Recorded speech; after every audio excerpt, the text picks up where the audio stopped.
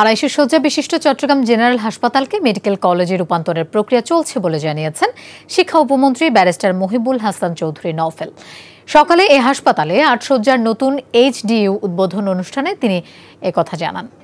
Field হাসপাতাল ও শিল্প প্রতিষ্ঠান বিএসআরএম এর যৌথ সহায়তায় স্থাপিত হয়েছে নতুন এই হাই ডিপেন্ডেন্সি ইউনিট।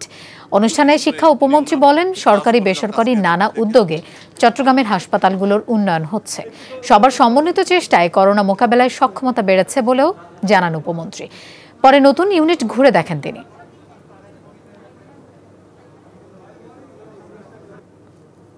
আমাদের সিভিল সার্জন মহোদয়, তিনি ইতিমধ্যে এই বিষয়ে একটা প্রস্তাবনা পাঠিয়েছেন। আমরা চেষ্টা করছি যাতে করে পূর্ণাঙ্গ মেডিকেল কলেজ হাসপাতালে এটাকে পরিণত করা যায়, এটা আমাদের দাবি। আমরা সিএসআর অ্যাক্টিভিটি একটু ডিফারেন্টলি করে থাকি। আমরা চাই মানুষকে অ্যাক্টিভ রাখতে।